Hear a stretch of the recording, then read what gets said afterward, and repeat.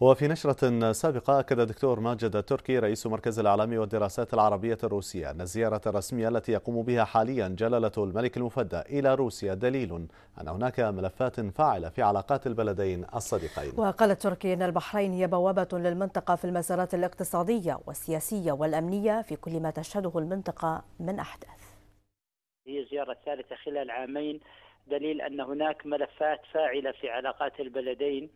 والبحرين آه، يعني بالحقيقة تعتبر هي هي بوابة الخليج الاقتصادية سواء من التاريخ أو الحاضر وقد تكون أحد المفاتيح الاقتصادية مع الجانب الروسي بالذات أن الجانب الروسي والجانب البحريني في فترة سابقة أظنهم يعني رفعوا قضية موضوع التأشيرات والدخول لمواطني البلدين بدون التأشيرات فهذه كلها تساعد في الحراك الاقتصادي وستصبح البحرين إحدى البوابات الاقتصادية المهمة